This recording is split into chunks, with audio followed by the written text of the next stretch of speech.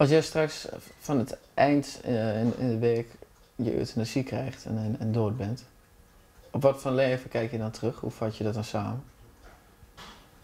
Nou, ik heb gewoon een rot leven gehad.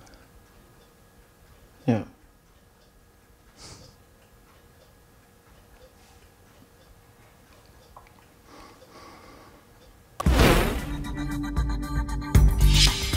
Ja, als het goed is, is het hier. Bel, doe het. Eh, Siouxis, Hallo. kan ik... eh, Ah, Hey, hallo. Ik geef deze aan jou. kom Ja. binnen. Als het goed is, ga jij eh, bijna dood. Ja, zeg wel. Ja, want om het even heel kort en bondig te zeggen.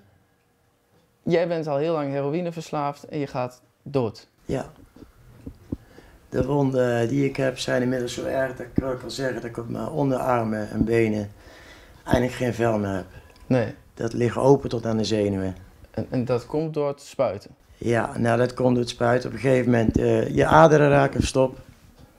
En je spuit er wel eens naast. En omdat er zoveel troep door de cocaïne en door de heroïne zit, Ja. dat gaat ontsteken. Maar voor, voor iemand die weet hoe slecht het is, is het, heb je het wel zo lang gebruikt dat je er nu door komt te overlijden. Hoe kan dat? Omdat ik het niet voor elkaar krijg om te stoppen. En je, je weet zelf, heroïne, daar staan mensen ook in achterste. Dat is nergens geaccepteerd. Terwijl, als je het zou kunnen betalen, zou er gewoon oud mee kunnen worden. Ja? Want? Nou, eh, heroïne op zich is, is niks mis mee.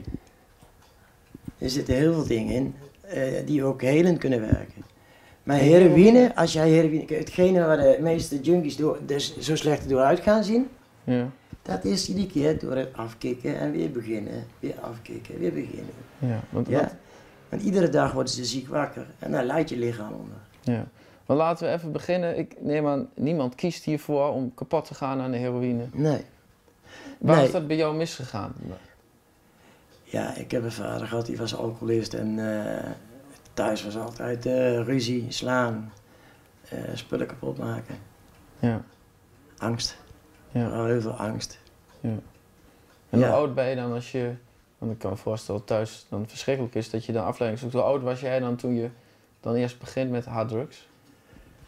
Ja, ik ben al van een hele jonge leeftijd al van thuis weggevlucht als het ware. Ja. Ik was eigenlijk alleen maar thuis hè, om te eten en te slapen. Toen was jij ook nog geen vrouw. Nee. Dat kon je in die tijd ook niet zeggen. Nee. Ik kom uit Beusden, dat is in de Bijbelbelt. Ja. En eh, ik denk eh, dat ze me gelyncht hadden. Maar uiteindelijk heb je er toch voor gekozen om van man naar vrouw te gaan. Ja, maar dat is nog niet zo heel lang. Nee. Dat is bij mijn laatste partner gebeurd. Ja, En ondanks dus die transitie en dat je het vaak hoort dat mensen daar gelukkig van worden. Nou ja, ga je nu toch door het, van de drugs. ja, maar ik ben zeer gelukkig met wie ik ben nu hoor. Ja? Maar die, die verslaving is, die, die heeft er eigenlijk helemaal nu al niks meer mee te maken. Die verslaving zit zo diep. Da- daar kom ik nooit meer vanaf. Dat staat helemaal los van de transitie. Want ik, ik, ik denk dat dit het, voor het gebruik van het heroïnegebruik is wat ik hier op tafel zie. Hoe, hoe vaak doe je dat dan nog op een dag? Ik probeer eh, met een vier keer per dag een shotje te zetten nog. En dan moet het verband dan af. Ja. Ik wil het je straks wel laten zien, maar ik wil het niet op beeld hebben. Het is te heftig om te laten zien op televisie. Ja. En dat doet heel veel pijn. Het doet heel veel pijn, ja. Het ligt tot op de zenuwen bloot. Maar dan toch gaat er op een gegeven moment dat verband eraf. En dan, moet je, en dan pijnig je jezelf dus nog erger om nog een keer heroïne te gebruiken. Ik voel niks meer. Het is alleen de zenuw die ik nog voel, en de rest eh, voel ik helemaal niks meer. Het is net een maanlandschap, het delen arm is net eh Robocop. Zoals het eruit ziet. Ja.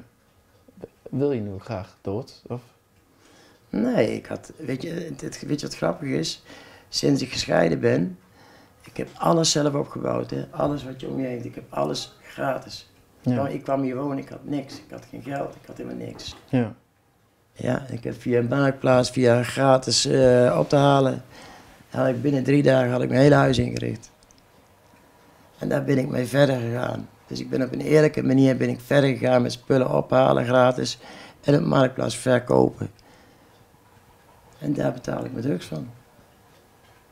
Ja, maar wat, wat, wat kost dat? Want Als je dit iedere dag vier keer gebruikt, kost jou Eh, dat? ja, dat kost veel. Maar omdat ik dus eh, behoorlijk eh, grote aantallen inkoop, heb ik het veel goedkoper. Ja, ja. Kijk, als ik op straat zou moeten gaan kopen, ja, dat zou voor mij niet te doen zijn. Nee. Maar ik koop minimaal 10 gram. En dan is dat prijsverschil zo groot. En, ja, ik ben er gewoon goed in in spullen verkopen. Ja? Ja, Ja. d- dat is dan wel mooi dat je Ja. nog vindt waar je goed in bent en je daarmee kunt onderhouden. Ja, Want, ja. En daar ben ik ook blij mee. Ik ben zelfstandig. Ik ben van niemand afhan- afhankelijk meer. dus En dat is voor mij de vrijheid die ik nu heb. Dus in dat opzicht ben ik voor het eerst in mijn leven gelukkig. Als jij straks van het eind eh, in, in de week je euthanasie krijgt en, en, en dood bent, op wat voor leven kijk je dan terug? Hoe vat je dat dan samen? Nou, ik heb gewoon een rot leven gehad. Ja.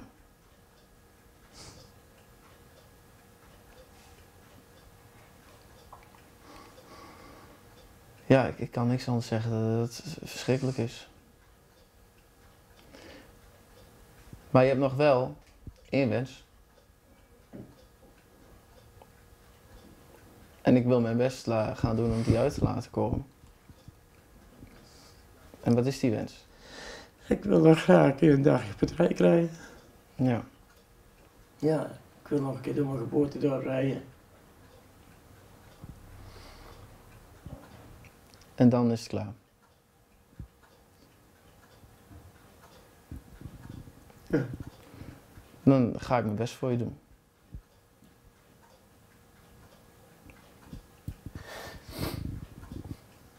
Dan zien we elkaar snel met de trike. Goed? Dankjewel.